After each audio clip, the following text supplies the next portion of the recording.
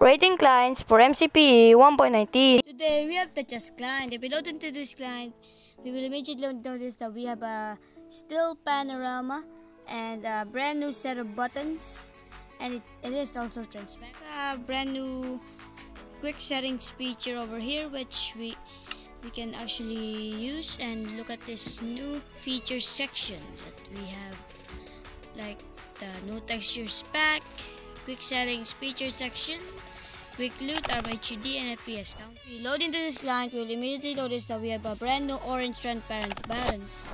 It also features bordered ores so you can find them easily in survival. It also has simpler textures like clear water, full grass, and other sort of things. It also features an FPS counter on top. It also features a brand new small swords for our swords and it also features brand new enchantment for our items. It also features a very cool brand new crosshair for our bow. It also features clean UI in our inventory.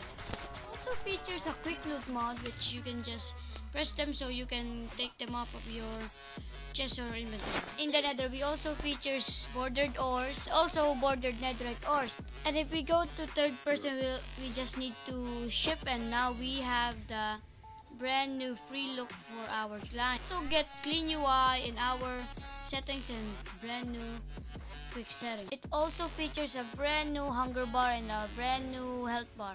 It also features a brand new armor HUD. It also features a brand new quick chat in our chat so we can chat very easily. Thanks so much guys for watching. See you next time. Bye!